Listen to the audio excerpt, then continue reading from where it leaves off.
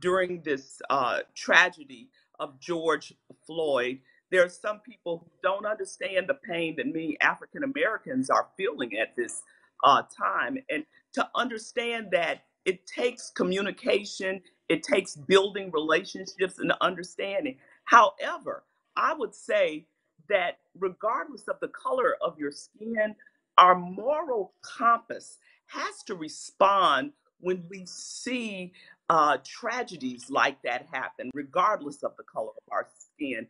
That, in and of itself, should bring a level of concern. It should be a, bring a level of grief, uh, and it should be a, bring a level of a desire to want to change things in our world. Absolutely, and it's great that we've seen some of our local law enforcement leaders coming out and reprehending the actions of those officers there in Minnesota. Checking privilege and bringing accountability in these situations also very important. Mayor Broome, thank you so much for your words this morning. We appreciate your time. Have a great weekend. Thank you.